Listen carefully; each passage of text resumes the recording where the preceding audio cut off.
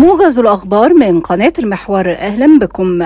يشارك رئيس مجلس الوزراء الدكتور مصطفى مدبولي في مؤتمر لحظة الأمم المتحدة لتقييم نظم الغذاء 2023 الذي تستضيفه منظمة الفاو.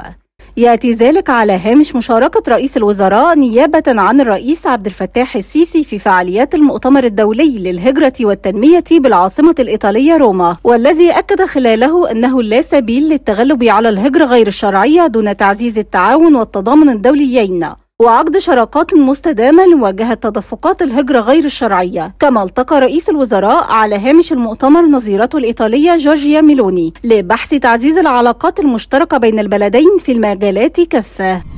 التقى الدكتور مصطفى مدبولي رئيس مجلس الوزراء إيمي بوب المديرة العامة المنتخبة الجديدة للمنظمة الدولية للهجرة على هامش مشاركته في فعاليات المؤتمر الدولي للهجرة والتنمية بالعاصمة الإيطالية روما. وأعرب مدبولي خلال اللقاء عن تطلع مصر لتعزيز التعاون مع المنظمة الدولية للهجرة خلال الفترة المقبلة. في ضوء ما يحتله ملف الهجرة من أهمية كبيرة لمصر التي تستضيف تسعة ملايين مهاجر ولاجئ. مؤكدا أهمية أهمية تطوير آليات التعامل مع ملف الهجرة واستحداث مناهج عمل تساعد على معالجة جذور ملف الهجرة غير الشرعية وتسهم في تخفيف الأعباء عن الدول المستضيفة للاجئين.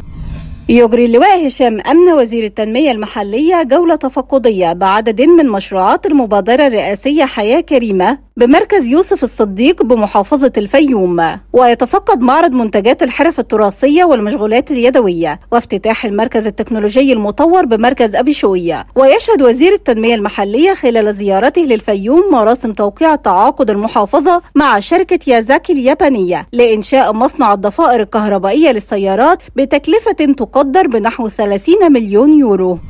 قال الدكتور محمد معيط وزير المالية إن الدولة ماضية في التوسع التدريجي لمبادرة إحلال المركبات في المحافظات وفقا لتوافر البنية التحتية المطلوبة للسيارات التي تعمل بالغاز الطبيعي بما يساعد على تعزيز جهود التحول الأخضر. موجها الدعوة إلى مجتمع الأعمال والشركات المصنعة لتقديم منتجاتها والحلول الذكية لتنمية تكنولوجيا تصنيع المركبات. وأكد وزير المالية أن المبادرة الرئاسية لإحلال المركبات بدأت تلقي تلقي طلبات المواطنين بالإسماعيلية الراغبين في إحلال سياراتهم المتقادمة التي مر على تصنيعها 20 عاما فأكثر بأخرى جديدة تعمل بالغاز الطبيعي. وفقا للشروط والإجراءات المقررة على نحو يسهم في تيسير امتلاك المواطنين لسيارات جديدة ومتطورة.